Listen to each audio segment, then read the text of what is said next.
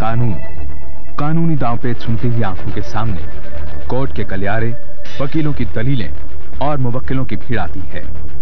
अदालत जहाँ दूध का दूध और पानी का पानी कर दिया जाता है, लेकिन कभी कभी इन अदालतों में भी ऐसे अजीब और गरीब किस्से होते हैं कि विश्वास नहीं होता। ऐसा ही किस्सा तब हुआ जब भारत के सॉलिसिटर जनरल की हत्या का मामला अदालत में पहुँचा।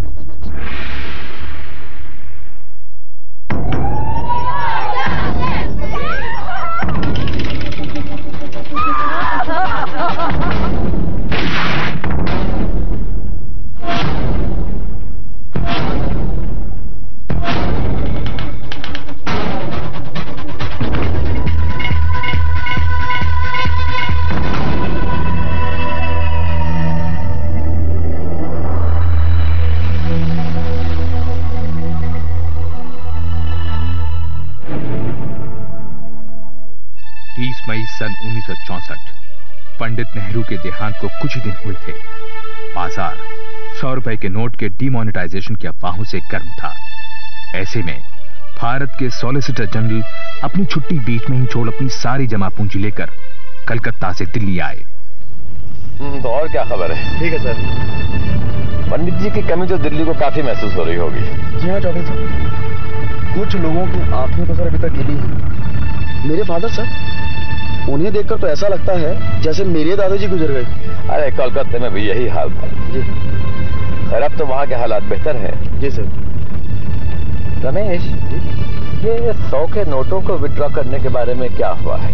सर मुझे तो लगता है कि ये पूरी अफवाह है क्योंकि फाइनेंस मिनिस्टर ने अभी तक कोई स्टेटमेंट नहीं दिया है और ना ही इसके बारे में उन्होंने कुछ कहा है सर। फिर भी रमेश तुम पता करो। जी सर। मिसेज चौधरी बहुत घबरा रहे हैं। जी सर। अगर ये अफवाह सही है जी। तो फिर हमको अपने सारे सौ के नोटों को जी। पचास बीस और दस में कन्वर्ट करना पड़ेगा। Okay sir. ज़रूर। सर मिसेस चौधरी कैसी है? बहुत अच्छी है। जी सर। तुम्हारे बीवी के लिए साड़ी भेजी है। Thank you sir thank you very much sir sir वैसे ये रकम कितनी होगी? ये कोई साठ सत्तर हज़ार रुपए के आसपास होगी और क्या। ठीक है सर। नाम। पुरुषोत्तम कुमार चौधरी, उम्र 60 साल। अपनी काबिलियत और हुनर की वजह से सॉलिसिटर जनरल के अहदे पर पहुँचे हैं। परिवार कलकत्ता में है और वो खुद दिल्ली में एक आलीशान सरकारी बंगले में रहते हैं।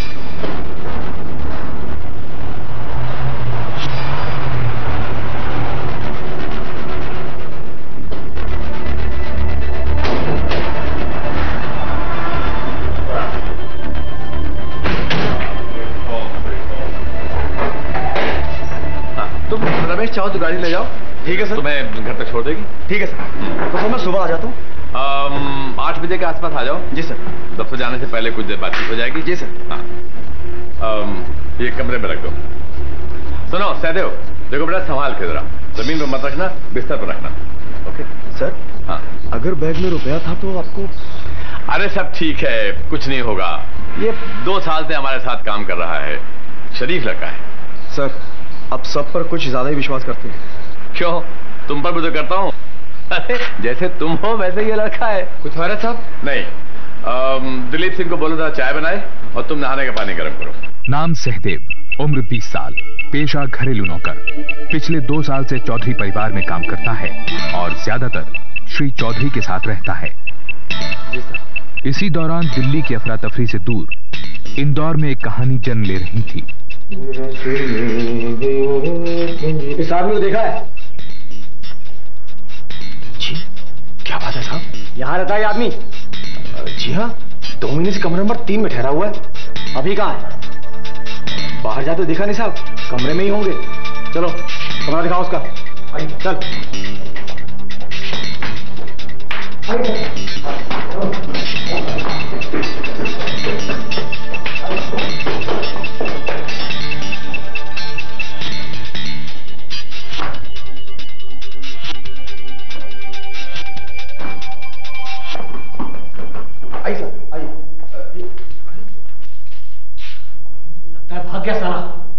जाओ चप्पा चप्पा छंडा लॉन्च का क्विक।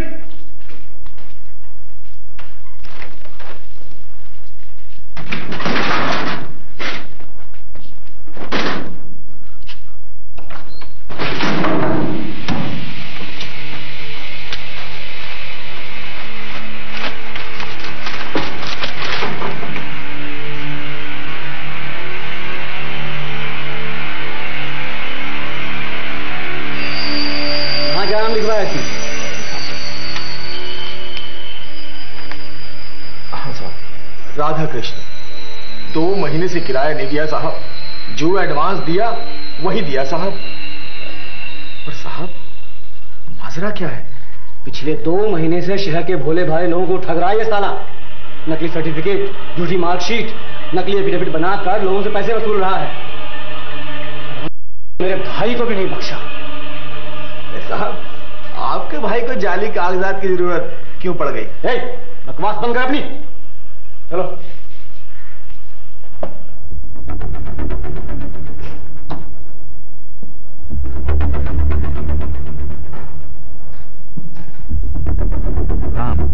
केवल कृष्ण गुप्ता उर्फ़ केकेटी उम्र 35 साल। एक ठग जो कई बार छोटे मोटे अपराधों के लिए जेल भी जा चुका है।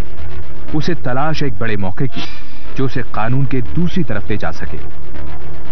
क्या करना चाहते हो? पता नहीं यार।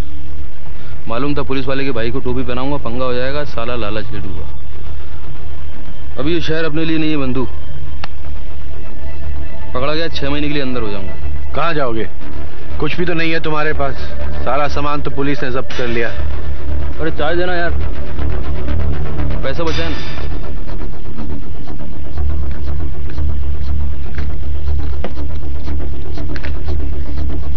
सोच रहा दिल्ली चला जाऊँ।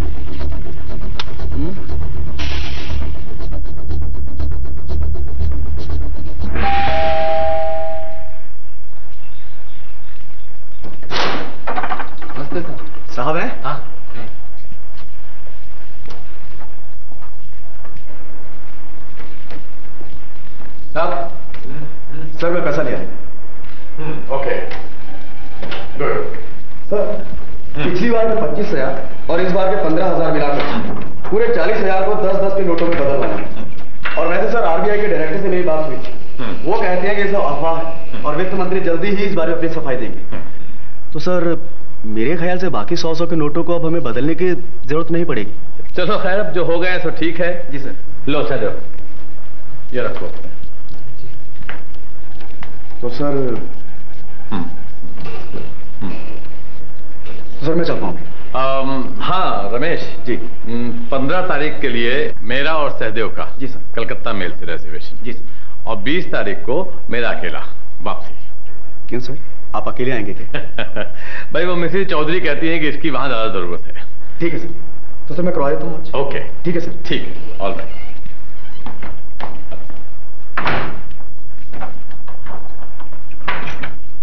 साहब हम पिक्चर देखने जाएँ? तुम बहुत पिक्चर देखने लगा है आजकल। जाए साहब। ठीक है जा।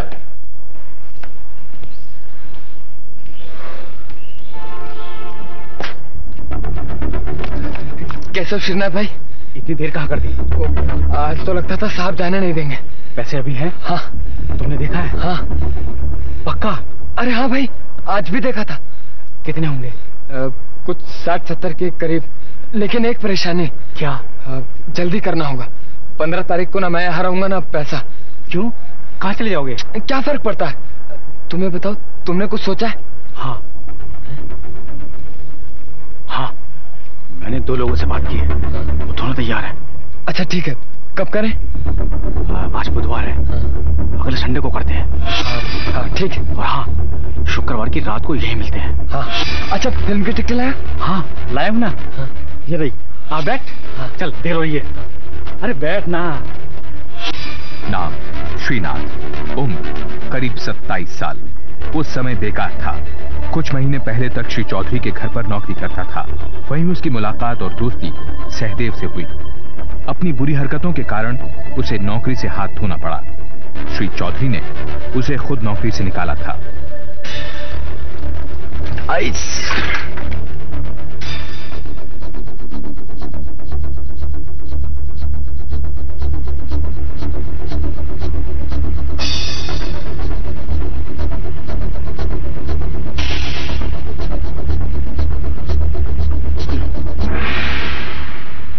पैकेट सिगरेट दे बनामा।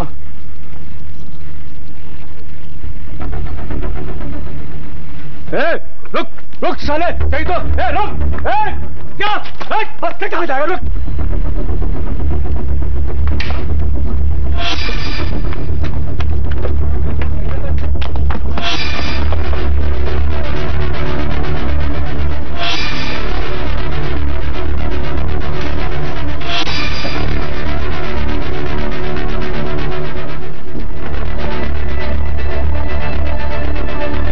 केके जी ने ठान ली कि अब वो इंदौर में नहीं रहेगा।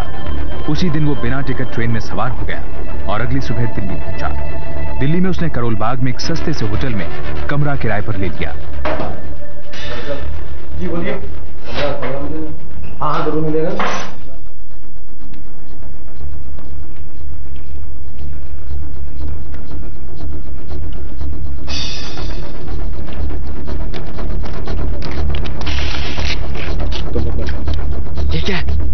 तुमने तो कहा था दो लोग हैं।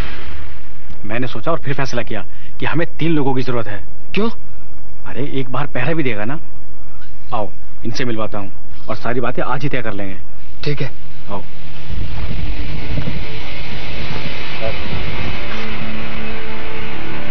ये है कमलदीन ये है सोहनलाल और ये मंगू। तुम में से पहले कभी किसी ने किया? अबे चुप। तू तो साले जैसे चंबल का डाकू है ना? ज़्यादा लीडरी मत कर। तमीज से बात करो मुझसे नहीं तो मैं जा रहा हूँ। अरे समझ यार। अच्छा चल तू इन्हें बता कैसे करना है क्या करना और कब करना है। चल बता। साहब ग्यारह साढ़े ग्यारह बजे सो जाते हैं? दिलीप सिंह भी। ये दिलीप सिंह कौन है? खानसामा है। अच्छा। वहीं बरामदे में सो जाता है। हाँ। साहब का कमरा खुला रहता है। हाँ। और चाबियाँ तकिए के पास रहती। हाँ। और हाँ आवाज़ बिल्कुल नहीं होगी। ए मंगू तुम दो थैले लेके आना रुपया उसी में रखेंगे। सब लोग मुँह पे कपड़ा बांधेंगे कोई पहचान ना पाए। और किसी ने देख लिया तो उसको उसी टाइम खत्म करना होगा।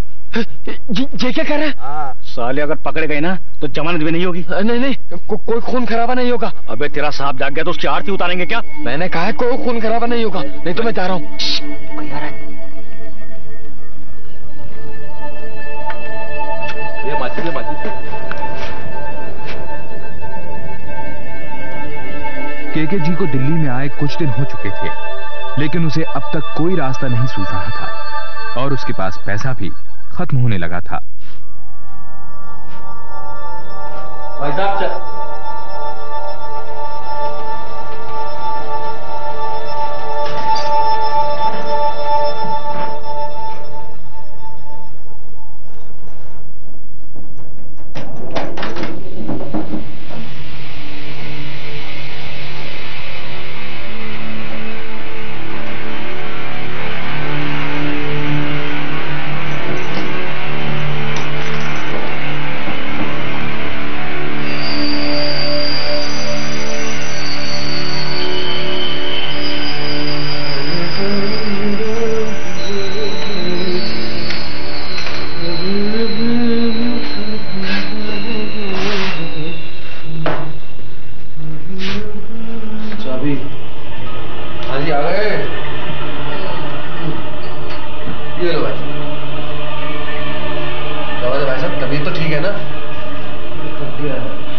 है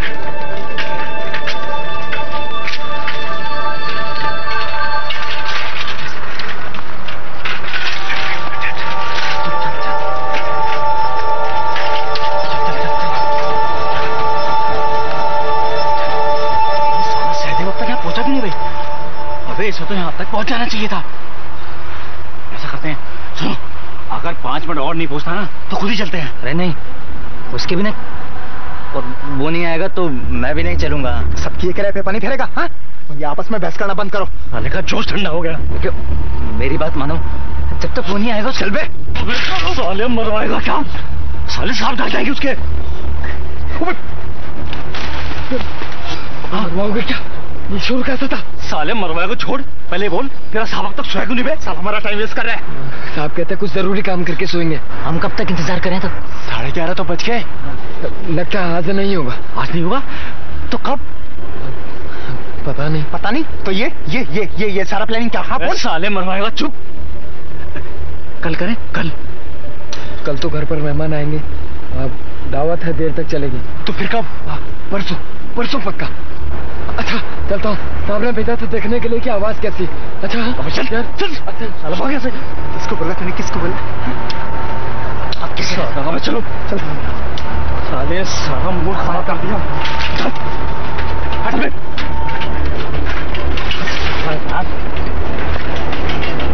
अबे चल ना साले। मैंने खुद पैसे गिन के अंदर रखे हैं ताला लगाया चाबी रख के बस दो मिनट के लिए बाहर गया। और जाके देखा मैंने तो इसमें पैसे गायब। बस ये समझ लीजिए थोड़ी देर पहले पैसे यहाँ थे और अब गायब। जैसे लॉकर खा गया हो पैसे। कितने पैसे थे? ये एक सौ तीस रुपए थे। समझ में नहीं आता वो सारे पैसे लेकर क्यों नहीं गया? भाई साहब ये जरा देर से लौटी हूँ जी। क्या हो गया? चोरी हो गई साहब लॉकर में पैसे कम। अरे बताओ कितने पैसे थे? एक सौ तीस रुपए। सब करो क्लास लेनी होगी। तलाशी ले लो भाई साहब तलाशी ले लो सबकी ले लो बहुत ज़रूरी है ये। आजकल जमाना बड़ा खराब आ गया है यार शरीफ आदमी बदमाश में तो कोई फ़र्क ही पता नहीं चलता आप बोलो। भगवान हमें शक्ति दे इन दुष्ट आत्माओं से लड़ने के लिए।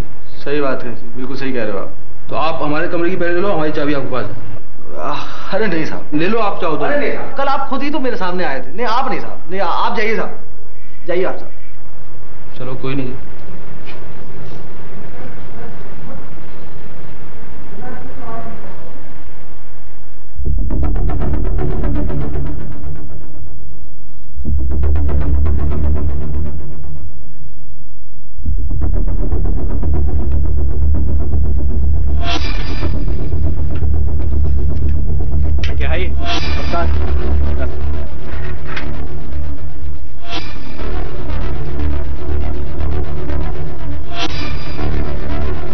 ये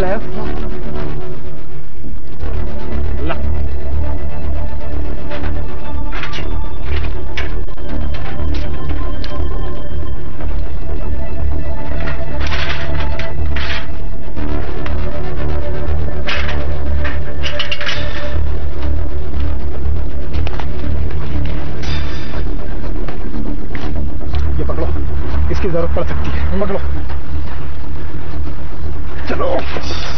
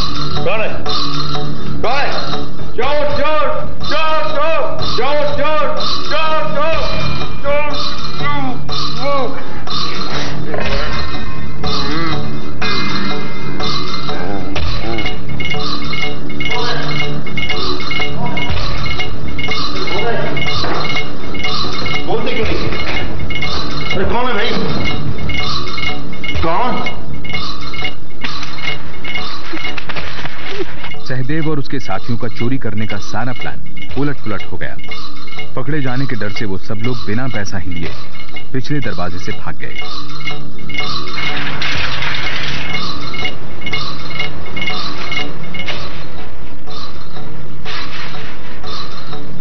सॉलिसिटर जनरल की हत्या एक गिरफ़्तार। केके जी ने ये नहीं सोचा था कि जिस बड़े मौके की तलाश में वो था वो उसे एक दिन अचानक अखबार की सुर्खियों में मिलेगा।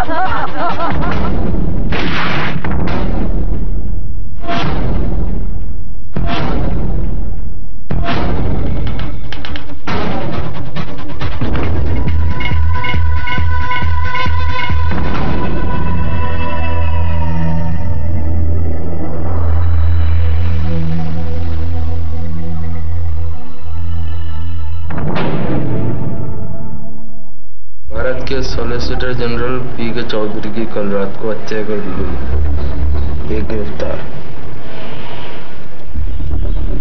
ये गिरफ़्तार। केवल कृष्ण गुप्ता न्यूज़पेपर आर्टिकल से उन घटनाओं को एक सूत्र में पिरोने की कोशिश में लग गया जो उस रात घटी थी।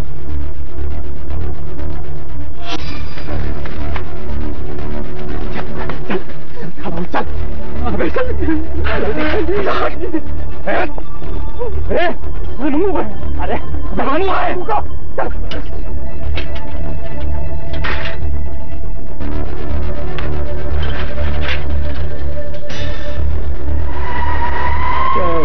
साहब को सर करीब बारह बजकर बीस मिनट फ़ोन किया। और सर, मैंने मिसेस चौधरी को इन्फॉर्म किया है। वो कल शाम तक यहाँ पहुँच जाएँगी, सर। मेरा बड़ा ख्याल रखते थे, सर। मैं पिछले चार साल से इनके साथ हूँ सर। और सर मिसेस चौधरी तो मुझे अपने बेटे की तरह मानती थी सर।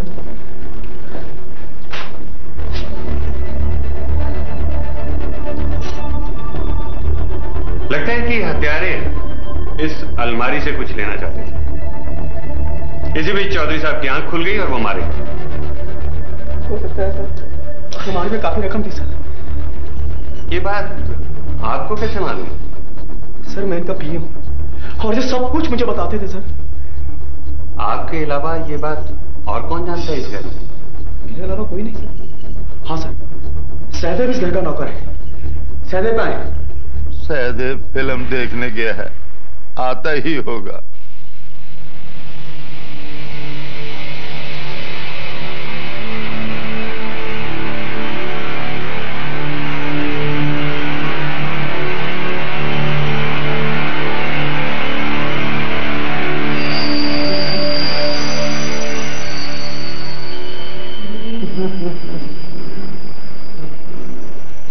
क्या हुआ मार डाला। तूने साहब को मार डाला। मेरी बददुआ लगी उन कमीनों को।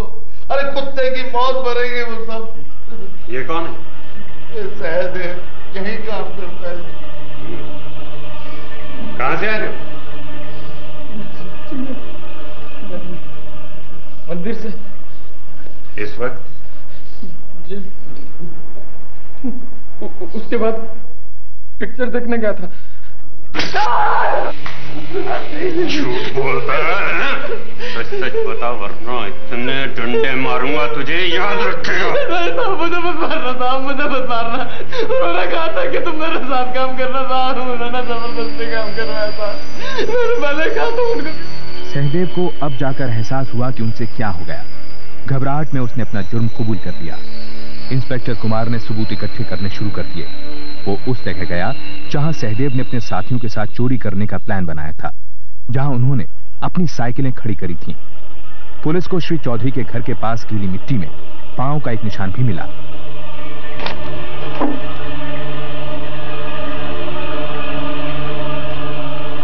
सर और कुछ चाहिए? नींबू पानी है। नींबू पानी में सर दो तीन मिनट लगेंगे। कॉफ़ी बनने में? कॉफ़ी बनने में दस मिनट लगेंगे सर। कॉफ़ी ले गया कॉफ़ी? जी सर।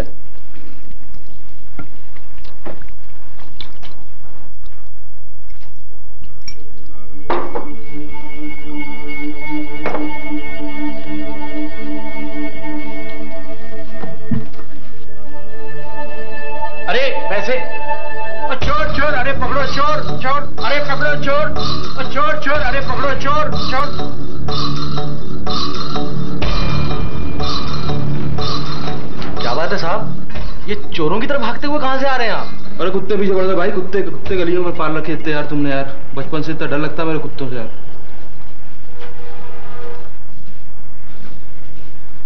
और सुनाओ भाई आप कैसी कट रही है? चोर वोर पकड़ा गया पकड़ा गया? अजी चोर। चोर तो पकड़ा ही जाएगा साहब। बचकर कहाँ जाएगा?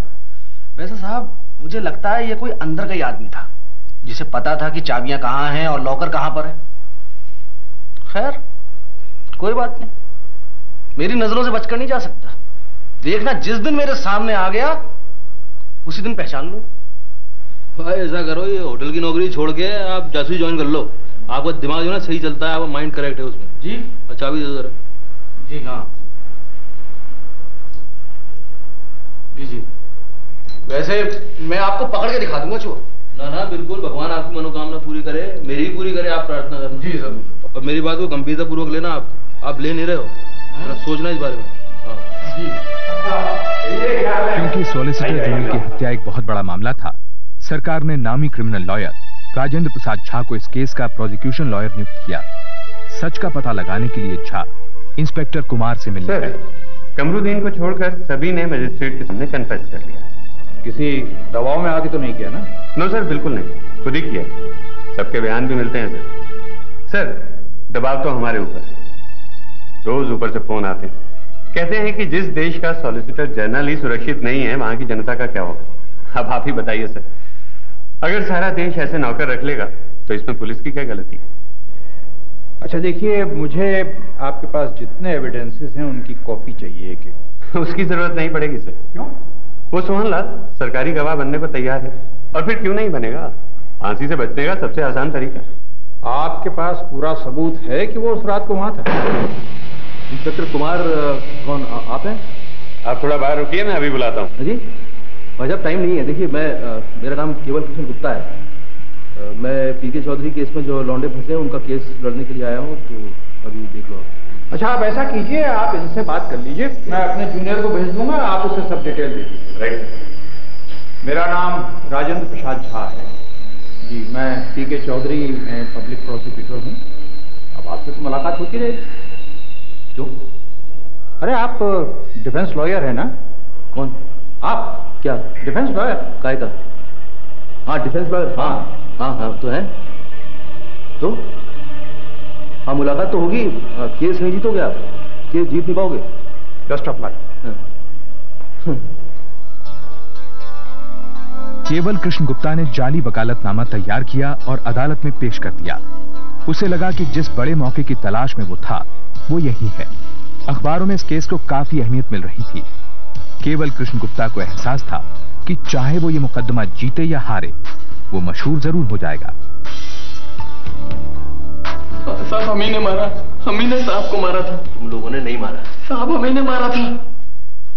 तुमने नहीं मारा है। जो हुआ है वो हुआ ही नहीं है। जो हुआ उसको भूल जाओ। अभी जो मैं बोलूँगा जो मैं कहूँगा वही करना है वही कहना है। लेकिन वो सोहनलाल साला सरकारी गवाह बन गया है। अरे उसको तो पाँच मिनट में तोड़ दूँगा मैं। आएगा ना कोर्ट में क्रॉस सवाल करते हैं ना उसमें औकात में आ जाएगा पाँच मिनट वो। उसकी चिंता मत कर तू। लेकिन मुझे बड़ा अफसोस है कि साहब मारे गए। वो बहुत अच्छे इंसान थे। ओए देख कोई भी बड़ा आदमी होता है ना पैसे वाला वो अच्छा इंसान नहीं होता है। वो चूसता है खून चूसता है वो। वो सब काला धन रहता है उसके पास चोरी का पैसा होता है। समझा? काला धन मालूम है क्या होता है? काला धन। वो मुझे बहुत प्यार करते थे। चुप कर साले। तू और तेरा साहब कुत्तो गया हमें यहाँ छोड़ गया मरने के लिए। मैंने पहले ही कहा था कि खून खराबा मत कर। तो तो तो तो क्या करता मैं क्या करता है? अब चुप कर। सालों ने सुबह से चे चे पै पे लगा रखी है। साहब सुना है वो वकील बहुत सहना है और बहुत काबिल है। और कभी मुकदमा भी नहीं आ रहा? तूने मेरे बारे में सुना है मैं कोई मुकदमा आ रहा हूँ। सुना मेरे बारे में? अबे अदालत में आएगा ना वो मेरे सामने जब बहस करेगा वकालत से नफरत हो जाएगी शहर छोड़ के भाग जाएगा। तुम लोग बस मैं जैसा बोल रहा हूँ वैसा करो। तुम लोग बोलो कि साहब ये पुलिस की साजिश है। ये तो हमें मार पीट के बयान ले लिया हमसे। मैंने कुछ कबूल नहीं किया है। कबूल करना ही नहीं है। कबूल मत करो। तुम बोलोगे साहब हम तो थे ही नहीं वहाँ। हम लोग तो हम लोग तो पिक्चर में बैठे हुए थे। ये तो पुलिस हमारे खिलाफ साजिश कर रही है। ठीक है सर। हाँ? ऐसा बोलो मैं तुम सबको दो दिन में बाहर कर दूँगा। ध्यान रखना इस बात का। अभी चिंता मत करो आराम से फैल के सो। मैं समझ लूँगा ठीक है सर। हैं? ठीक है सर।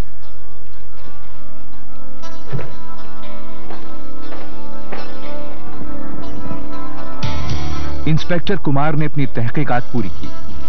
पीके चौधरी की हत्या का केस सेशंस कोर्ट में पहुँचा। गुप्ता जी क्या हाल है? अरे आप हमसे नाराज़ किस बात पे? हाथ मिलाने में क्या है भाई? दुश्मनों से हाथ नहीं मिला था मैं दुश्मन मैं? अरे भाई मैं भी तो आप ही की तरह वकील हूँ। मैं तुम्हारी तरह वकील नहीं हूँ। तुम अपने आप को बहुत समझते हो ना? आओ कोर्ट के अंदर आओ। बत्ती गुल कर दूँगा। वकालत करना बुला दूँगा क्या होता है? ठीक है मिस्टर गुप्ता आप हाथ नहीं मिलाने हो तो बिल्कुल मत मिलाइए। लेकिन तमीज के हद से बाहर जाने की ज़रूरत नहीं है आपको। अच्छा अच्छा रास्ता मैंने रोका क्या हाथ मिलाने के लिए? मैंने रोका था हाँ, ये बात भी लगता है मुझे कई बार तो मुझे शक होता है कि वकील है भी कि नहीं। ऐसा बदतमीज आदमी मैंने कभी देखा ही नहीं। सर, मेरे साथ भी इसका ऐसे ही बर्ताव कुछ गड़बड़ है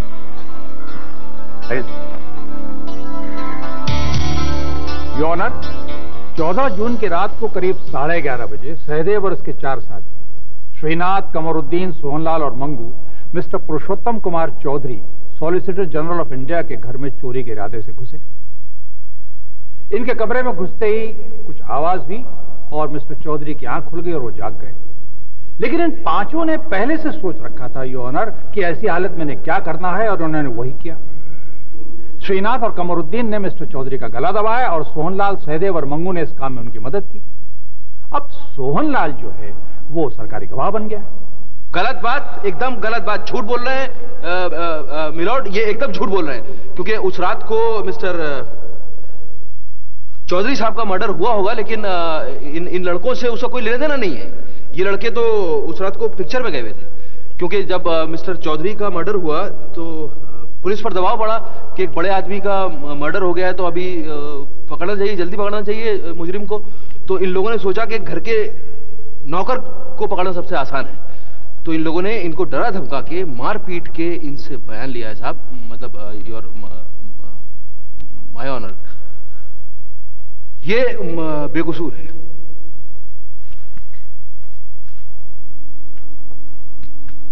तुम सदैव कब से जानते हो भाई? 10 जून 1964 को पहली बार उससे रात को मिला था। 10 जून 1964 और ये हादसा कब हुआ? 14 जून 1964 की रात को। मतलब चार दिन में तू इसका इतना गहरा दोस्त बन गया कि तू डाका डालने को तैयार हो गया है? नहीं वो सहदेव मेरा दोस्त नहीं है। तो श्रीनाथ ने पैसों का लालच देकर ये काम कर रहे पर श्रीनाथ ने पैसों का लालच दिया कि ये कुमार ने इंस्पेक्टर कुमार ने पैसों का लालच देकर। सरकारी गवाह बनाया? नहीं इंस्पेक्टर कुमार तो हमें बोल दूँगा अबे तू तो उस रात था ही नहीं वहाँ। मैं वहाँ था तू था ही नहीं उस रात वहाँ। मैं था मैंने मैंने चौधरी साहब की टांगे भी पकड़ी थी जब श्रीनाथ और कमरुद्दीन ने उनका गला दबाया। कोई सबूत है तेरे पास? तू था वहाँ। कोई सबूत है? बोल। सबूत है तेरे पास? तू वहाँ था। सबूत तो यही है कि क्या? मैं मैं जो बोल रहा हूँ अच्छा बोलना सबूत होता है? बोलना सबूत होता है? मिलॉर्ड, ये आदमी इन लोगों के ज़रिए सरकारी गवाह बनाकर खड़ा किया गया है। इस आदमी को तो सजा देना चाहिए और साथ में ये वकील साहब और इंस्पेक्टर साहब को जेल में सजा देना चाहिए।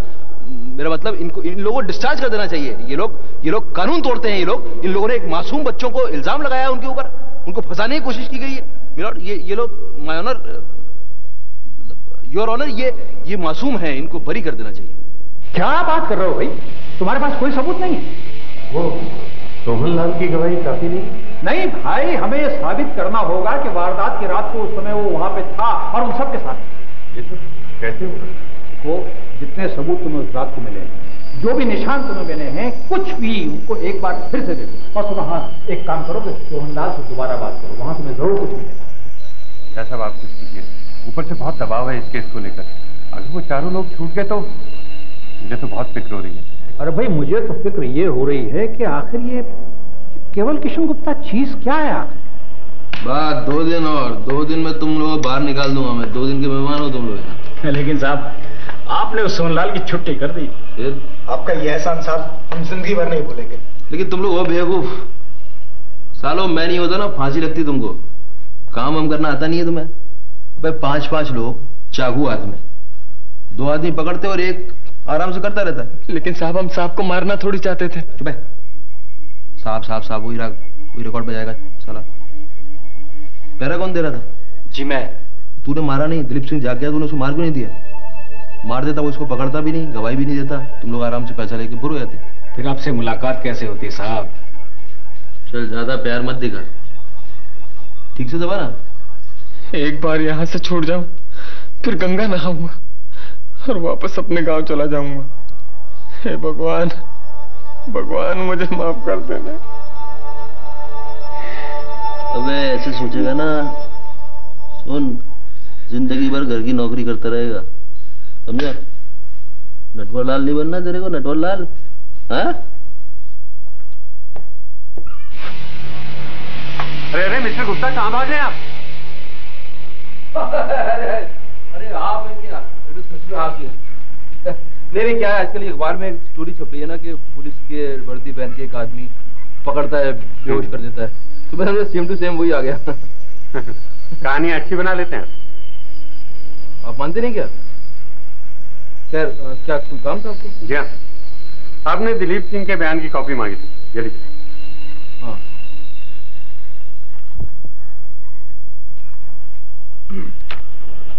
Thank you thank you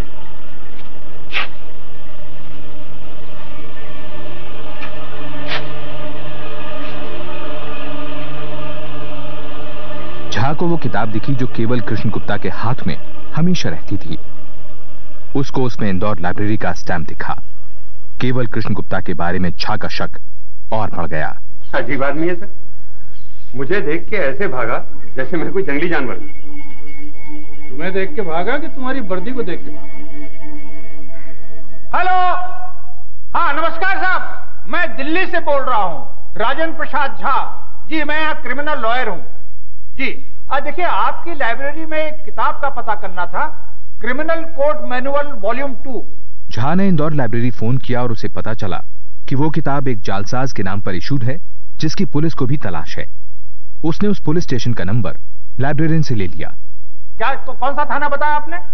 अच्छा ठीक है। अच्छा वो इंस्पेक्टर का नाम क्या है? जी अच्छा धन्यवाद धन्यवाद।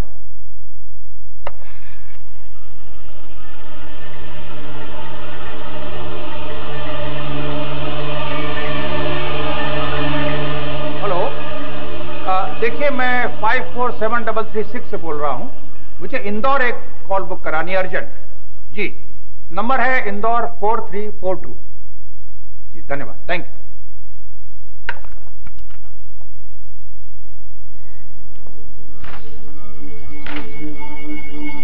inspector Kumar. जी कहिए। मैं इंस्पेक्टर श्रीकांत इंदौर से आया हूँ। वो वकील झा साहब ने फ़ोन किया था। ओहो आइए बैठिए बैठिए बैठिए। चाय मंगवाऊं नहीं नहीं कुछ नहीं। सीधा स्टेशन से आ रहा हूँ। रहने का इंतज़ाम कहाँ किया? पीछे गेस्ट हाउस में किया है। भाई आपका वो आदमी दिखता कैसा? है आपको फ़ोटो दिखाता हूँ।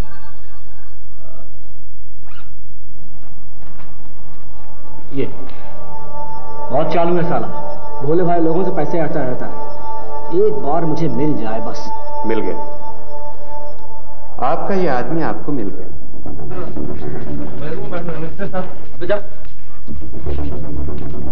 न जाने क्यों आज ही मुझे बहुत बेचारा सा लग रहा है। आज इसका खेल खत्म समझिए सर लेकिन आखिर ये पीके चौधरी मर्डर केस ही क्यों? आखिर ये आदमी चाहता क्या है? भाई ये इंदौर वाला इंस्पेक्टर अभी तक नहीं आया। हाँ वो जैसे ही आया उसे अंदर लेकर मेरे पास आ इस दौरान सॉलिसिटर जनरल की हत्या का केस इस बात पर उलझ गया कि सरकारी गवाह सोहनलाल हत्या की रात मौका वारदात पर वाकई मौजूद था या नहीं और उसकी गवाही पर कितना भरोसा किया जाए। योनर पुलिस ने जब तहकीकात की तो उनको मिस्टर चौधरी के घर के बाहर बगीचे की क्यारी में एक ताज़ा फुटप्रिंट मिला। तो पुलिस ने उस फुटप्रिंट का प्लास्टर ऑफ़ पेरिस का ढांचा तैयार किया। और एक्सपर्ट्स का कहना यह है कि यह ढांचा सोहनलाल के पैर के ढांचे से बिल्कुल मेल खाता है। इसका मतलब यह हुआ कि वारदात की रात को सोहनलाल मिस्टर चौधरी के घर में मौजूद था।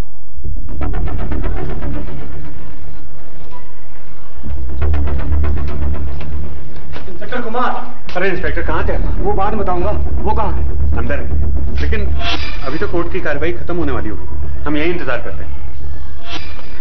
यो ऑनर पुलिस ने जब कमरुद्दीन को गिरफ़्तार किया तो उसके घर से एक धोती बरामद हुई।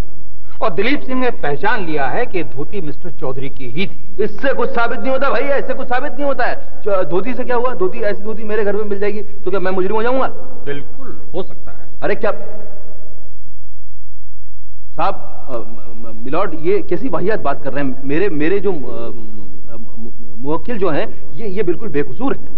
बल्कि मैं तो ये कहूँगा आज तक किसी ने ये सवाल नहीं पूछा कि उस सेठ के मतलब मिस्टर चौधरी के पास इतना पैसा इतना पैसा आया कहाँ से? ऑब्जेक्शन योर ऑनर इस बात का इस केस से कोई ताल्लुक क्यों नहीं ताल्लुक? ऑब्जेक्शन सस्टेन ताल्लुक कैसे नहीं है? मिस्टर गुप्ता जी।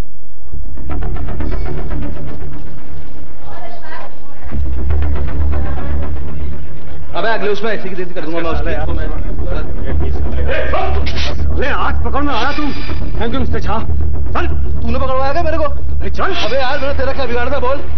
पकड़वा दिया यार। मेरे लाइफ में एक चांस मिला था। चल। भाई एक मिनट एक मिनट चल रहा हूँ चलो चलो चलो। मेरा केस लड़ोगे भाई? मेरा केस आखिरकार केवल कृष्ण गुप्ता पकड़ा गया। उसे इंदौर ले जाया गया जहाँ उसके खिलाफ धोखाधड़ी का एक मुकदमा चला। इस बात ने सनसनी मचा दी कि डिफेंस लॉयर खुद एक अपराधी था। इस वारदात के कारण P K Chaudhary murder case का रीट्रायल हुआ।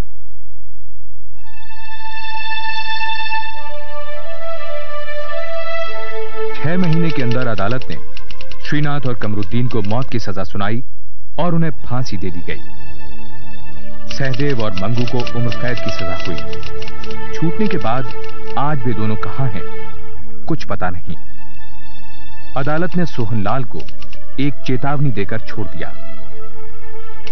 श्री राजेंद्र प्रसाद झा अब चौरासी साल के हैं और दिल्ली में आज भी वकालत करते हैं। केवल कृष्ण गुप्ता को इंदौर की अदालत ने चोरी और जालसाजी के इल्ज़ाम में एक साल की सजा सुनाई। लेकिन नकली वकील बनने के लिए उसे कभी सजा नहीं मिली। जेल से छूटने के बाद वो कहाँ गया, अब कहाँ है, कुछ नहीं मालूम। अपनी ज़िंदगी का एक और बड़ा मौका वो शायद आज भी कहीं ढूंढता होगा।